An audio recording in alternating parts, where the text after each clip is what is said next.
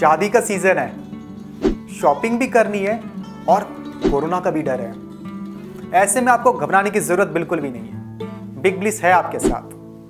अभी डाउनलोड करें big bliss app और सिर्फ़ 10 मिनट में पाए अपना सारा सामान।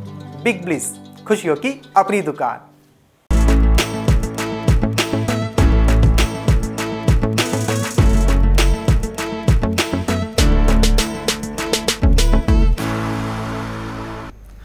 रूपा जी चने की बात करें यहाँ से तो देख रहे हैं कि होली का त्यौहार है, लेकिन चने का बाज़ार सुस्त पड़ा हुआ है।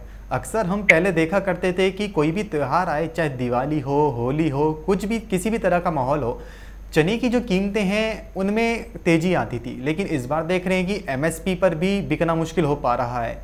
मंडियों, बाज़ारों में इतना उठाव नहीं देखने को मिल रहा है चने का। हालाँकि जो उत्पादन है पिछले साल के मुकाबले लगभग बराबर ही बताया जा रहा है। सरकारी आंकड़े तो यही कहते हैं लेकिन उठाव नहीं हो रहा है। खपत भी उतनी की उतनी है। तो रूपा जी ऐसे में आपको क्या लगता है? चने का बाज़ार क्या आगे भी ऐसे ही सुस्त बना रहेगा? क्योंकि फेस्टिवल सीज़न में तो सुस्त है तो क्या आगे चलकर और सुस्ती देखने को मिलेगी?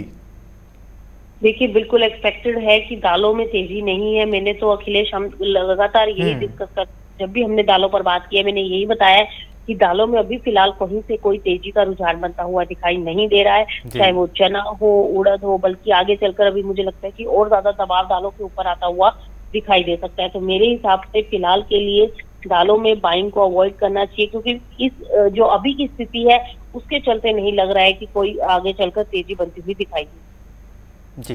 फ्रेश दूध और सब्ज़ी के लिए अब घंटों इंतज़ार में। बिग ब्लिस पर ऑर्डर करें। और 10 मिनट में पाएँ अपने घर, फ्रेश दूध और सब्ज़ी।